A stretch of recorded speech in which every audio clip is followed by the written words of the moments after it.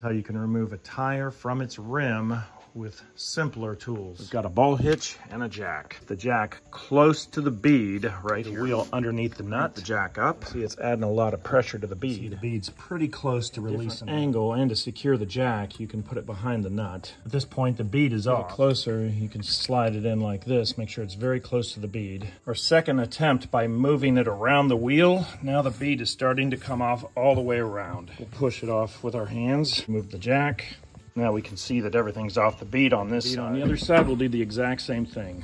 Sometimes it'll release on the first point of the tire. To keep the wheel down on the ground, you can put your knee on this side of the wheel. You can feel the beads start to break right now. Go down more, it'll continue to walk either direction. Feeling it go all the way around. You want to save the rim, but you don't care about the tire, you can use a hole saw to cut through. Avoid any of the steel in here and in here. Just start in right here and cut it so you can gain access to this bolt cutter. We can cut the wire, slide it into where the bead is, cut through the steel.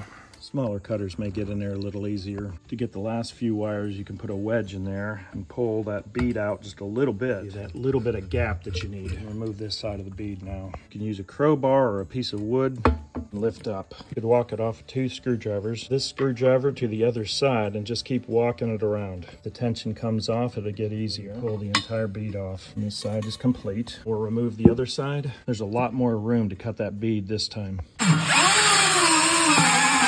a carbide tooth hole saw. Do the softest part of the tire without any metal in it. The second side, you can see we've got plenty of room to cut the bead. Room to get the cutters all the way to the very end. See those wires and the bead that we need to cut. Push the bead to the other side. rim free.